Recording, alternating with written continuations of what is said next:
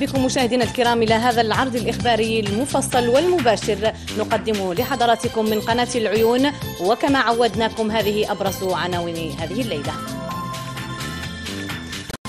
تساقطات المطر مهمة تهاطلت خلال الأيام الماضية بالطنطان أنعشت آمال ممتهني الأنشطة الفلاحية بالمنطقة.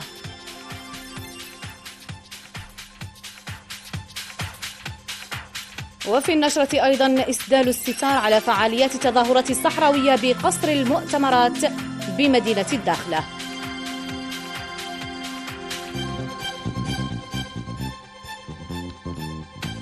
وفي الرياضة فريق وداد سمارة لكرة اليد يحقق فوزا ثمينا في مباراته أمام فريق اتحاد النواصر.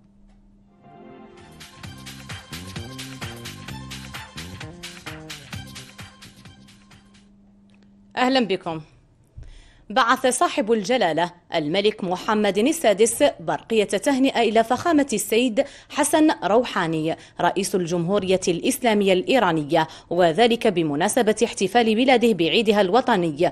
وأعرب جلالة الملك بهذه المناسبة عن أحر التهاني وأصدق المتمنيات للرئيس الإيراني بموفور الصحة والعافية وللشعب الإيراني الشقيق بمزيد التقدم والرخاء.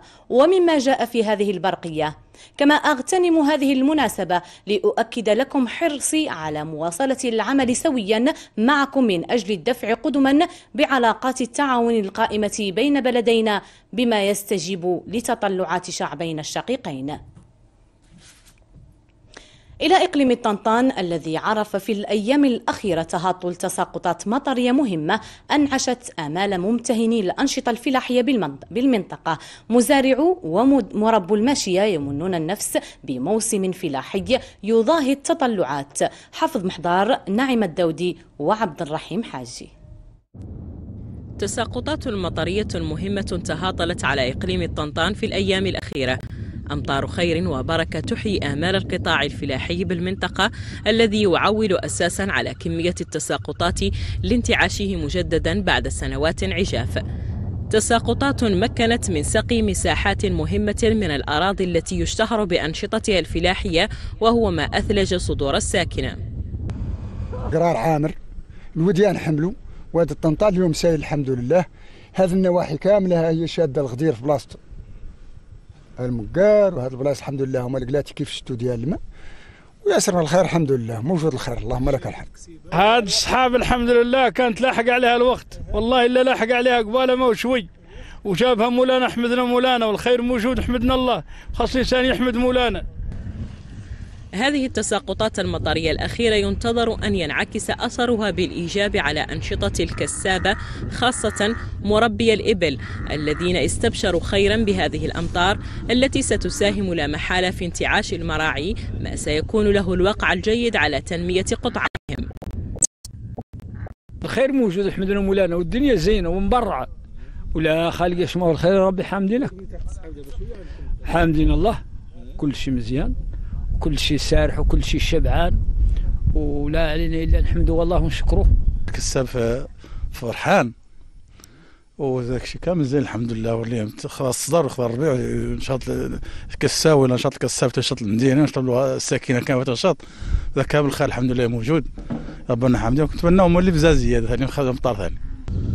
تساقطات وأمطار خير إذا يأمل ممتهن والأنشطة الفلاحية أن تسهم في انتعاشة جديدة لقطاع فلاحي ظل ولسنوات يئن تحت وطأة الجفاف الذي أثر على أنشطة المزارعين ومربي الماشية بالإقليم.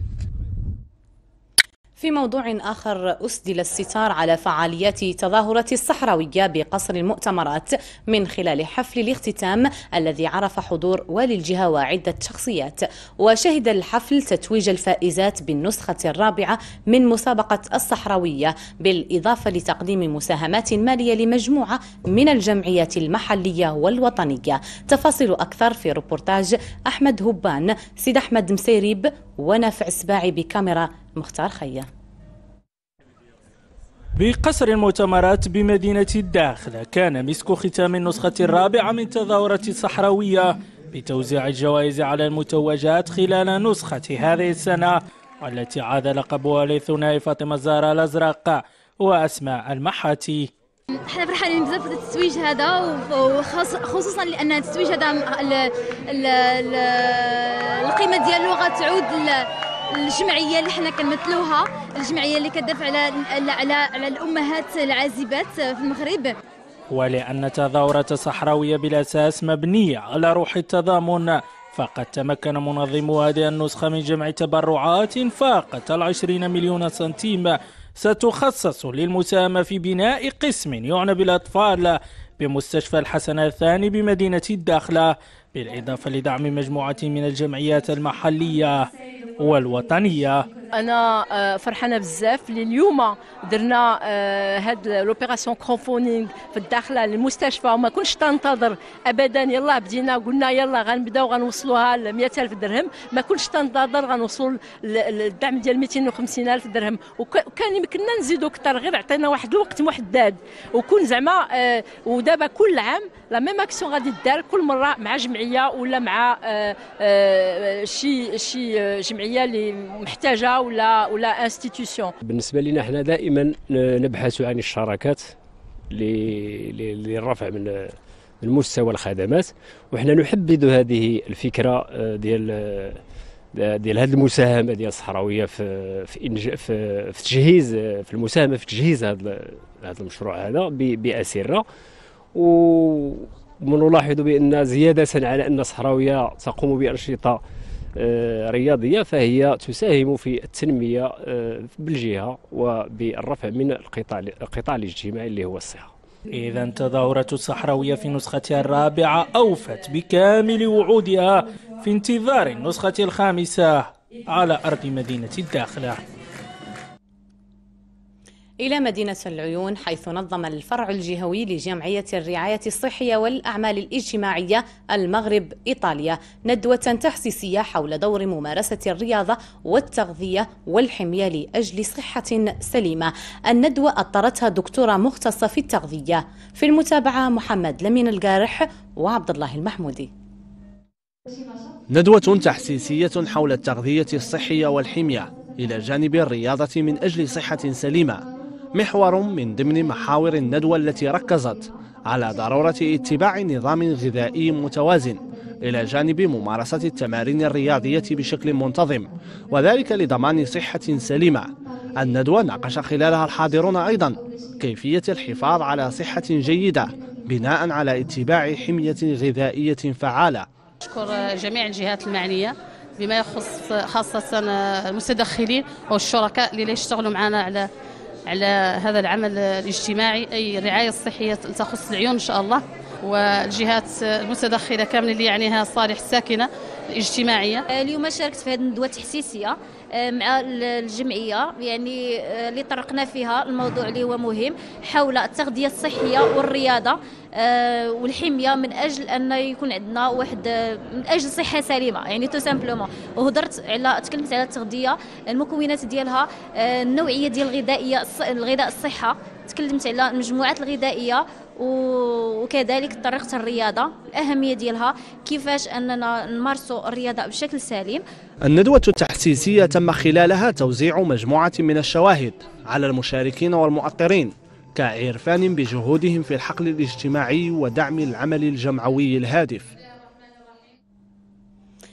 رياضيا حقق وداد سمارة لكرة اليد فوزا ثمينا في مباراته أمام فريق اتحاد نواصر وذلك بتصدر سبورة الترتيب من جديد ويكرس زعامته حتى هذه الدورة في مباراة قادها الإطار المشرف على مدرسة الوداد بدل المدرب التونسي محمد المسعودي الذي غادر كتيبة الوداد. مزيدا من التفاصيل مع عمر ميارة ومبارك الباز. بظهور لم يألفه جمهور وداد السمرة لكرة اليد دخل الفريق هذه المرة بدون وجه اعتاده الجميع على دكة الاحتياط. ومنها قيادة الفريق نحو الفوز تلو الآخر. المدرب التونسي محمد المسعودي يغادر وداد السمرة بشكل ودي بينه وبين المكتب المسير الذي يعزي القرار هذا للضائقة المالية التي يعيشها الوداد في الآونة الأخيرة. ودع إذا محمد المسعودي فريقا حقق معه الألقاب والكؤوس والبطولات ليتقلد المهمة المدير التقني لمدرسة الفريق ويقود أولى المباريات محققا نتيجة الفوز أمام غريم ليس بالسهل. فريق اتحاد النواصر المنتشي بفوز مهم أمام المتزعم رجاء قدير. ويضع منافسه هذه الدورة في الزعامة بعد أن تواضع أمامه بالقاعة المغطاة بالسمرة في مباراة كانت فرصة للمدرب الجديد لإقحام عناصر شابة من أبناء المدرسة والتي أكدت جاهزيتها لحمل قميص الفريق بعد أن أنهى اللاعب الجديد فصول المباراة بهدف أخير بلمسة شابة تنبئ بأن أبناء المدرسة قادمون. أهنئ اللاعبين الذين قدموا مقابلة جيدة. ولو أننا لم يكن لدينا الكثير من الوقت كان أسبوع فقط. الأهم هو الإعداد النفسي وتهيئة اللاعبين للفوز بهذه المباراة. المهمة أعتقد أن المقابلات القادمة مع التدريب والأسلوب الجديد سنحقق نتائج إيجابية أيضا. انتصارنا اليوم ما جاش من فراغ يعني كل كما كيعرف حنا اللي كندافعوا على لقب البطولة انتصارنا اليوم على فريق النواصر. يعني صراحة فريق النواصر هو فريق كبير. يعني اليوم يعني الحمد لله كان تركيزنا أكثر. كانت يعني كان همنا هو ثلاثة نقاط. كنكونوا كل الاحترام والتقدير للمدرب السابق اللي كان معنا. نتمنى له التوفيق في, في مسيرته الرياضية. وشكرا على الجمهور يعني اليوم اللي حج بالقاعه مع الأسف ال arbitrage ما كانش tellement ماشي خسرنا ولكن ما كانش tellement في المستوى. on est un peu bloqué نيرفانا شي شوية. وكنا كنا نلعبوا أحسن من هكا. يمكن نخسروا. وخسرنا مع سمارا ça fait plaisir لأن يمكن une bonne équipe pas problème ولكن avec avec l'arbitrage comme ça deux équipes اللي كيلعبوا على le premier rôle وحنا يلاه جينا نواصل يلاه بغينا نصابوا فرقتنا ويلاه بغينا نقادوا فرقتنا ونلعبوا أدوار طلائعية. فوز مهم يضع وداد السمرة في مقدمة الترتيب في مرحلة يرى القائمون على تسيير الفريق أنها تستدعي تضافر الجهود والالتفاف نحو فريق لطالما كان رقما صعب التجاوز وضرورة إعادة قاطرته إلى السكة الطبيعية سكة التألق وحصد الألقاب. نتوقف اللحظة مع جديد الصحف الوطنية الصادرة يوم غد في قراءة لغالي الجارحية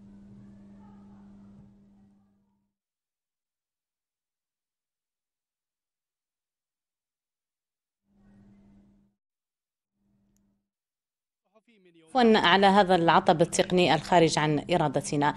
فالرجوع إلى هذه الصفحة الخاصة بالصحف الصادرة يوم غد في قراءة للزميل غالي الجارحي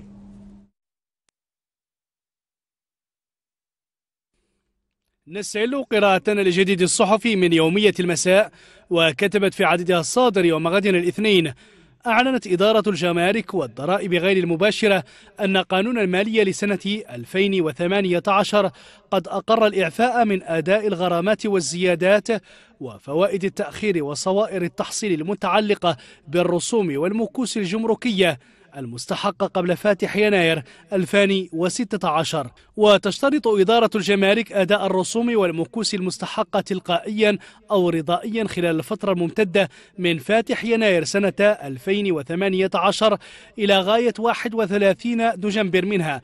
وكذا استحقاق الرسوم والمكوس الجمركية قبل فاتح يناير 2016 ويستثنى من الاستفادة من الإعفاء جميع الجنح والمخالفات الجمركية التي لا يترتب عنها بصفة أصلية أداء رسوم ومكوس جمركية ويكون معاقبا عليها بالإضافة إلى الغرامة بعقوبة سالبة للحرية.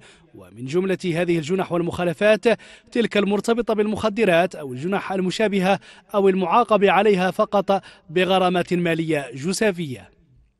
صحيفة برلمان كوما الإلكترونية كتبت في آخر مستجداتها الإخبارية اعتبر خالد الشرقاوي السموني مدير مركز الرباط للدراسات السياسية والاستراتيجية.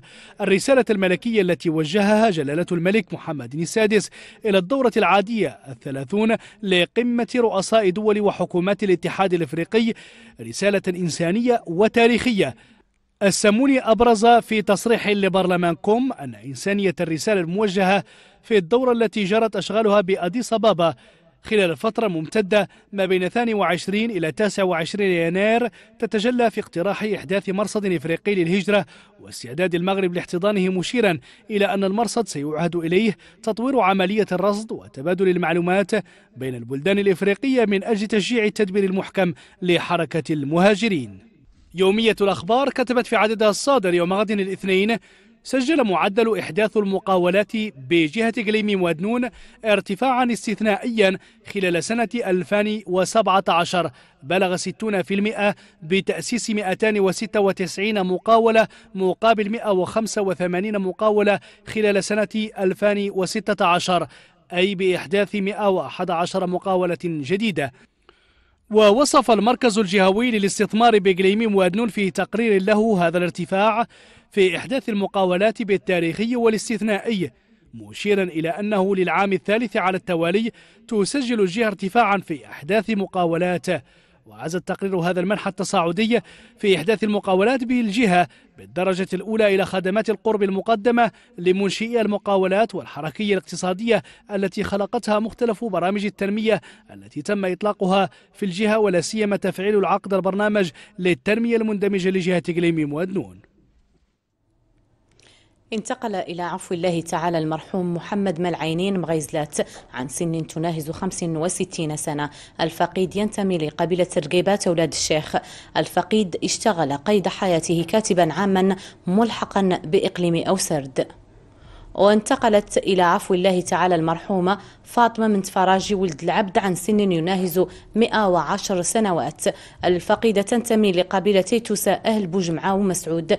تغمد الله الفقيدين بواسع رحمته وأسكنهم فسيح جناته وألهم ذويهما الصبر والسلوان. وإنا لله وإنا إليه راجعون. أما الآن فالورقة الخاصة بأحوال الطقس ليوم غد بحول الله. خلال الأربع وعشرين ساعة القادمة. سنلاحظ هبوب رياح معتدلة معتدلة القوى بالأقاليم الجنوبية. مقاييس درجات الحرارة نستهلها من العاصمة الرباط ومن المتوقع أن تسجل 18 درجة. سيدي إفني 18 23 بقليميم أسا والزاق 24 بطنطان سمارة وبكراع 20 بطرفاية 23 بالعيون و22 ببوجدور.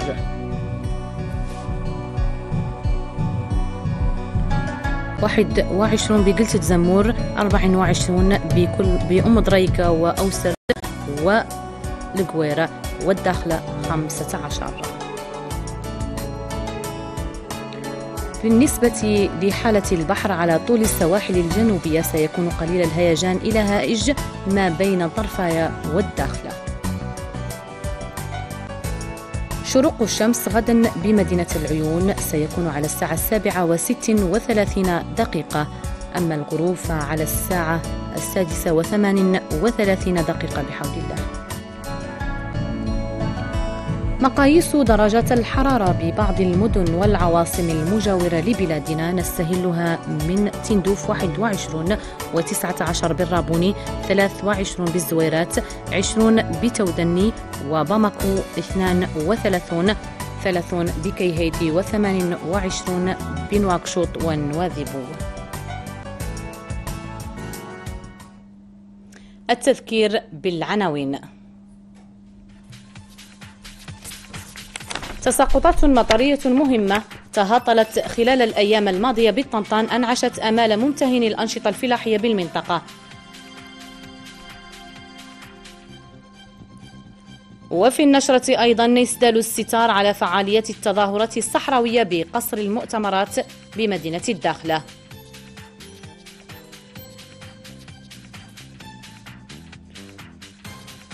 وتابعنا ضمن هذه النشرة المباشرة لليلة في الرياضة فريق وداد سمارة لكرة اليد يحقق فوزا ثمينا في مباراته أمام فريق اتحاد النواصر.